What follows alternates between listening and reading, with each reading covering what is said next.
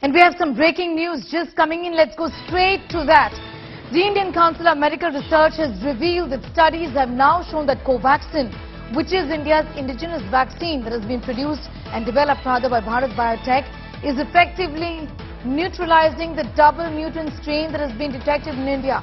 This comes as a huge relief given the fact that the double mutant strain is the dominant strain in India right now. ICMR has also said that Bharat Biotech's Covaxin has been found to be effective against the UK and the Brazil variants of coronavirus. Both of the variants have been seen in India.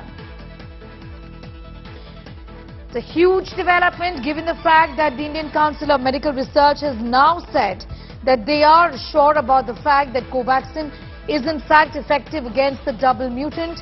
And Milan Sharma is getting us more details on that story.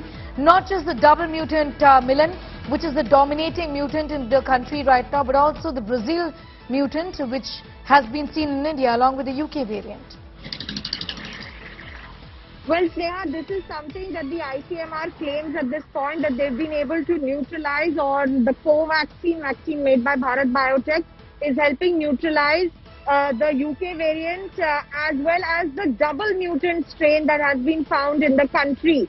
But studies to this effect, Sneha, have still not been published and the data needs to be seen as this is what the experts will say ultimately because uh, vaccines, if uh, the virus is developing an immune escape response, the vaccine uh, data needs to be shown that it is indeed working against uh, the new double mutant variant. But the ICMR, India's premier uh, health body, has come out on record to say that they have done studies that are showing that not just the UK variant, but also the new double mutant variant, the vaccine made by Bharat Biotech is working against these. All right, Milan, thanks for getting us up to speed with that. Milan Sharma tracks the health ministry for us, bringing us that important story.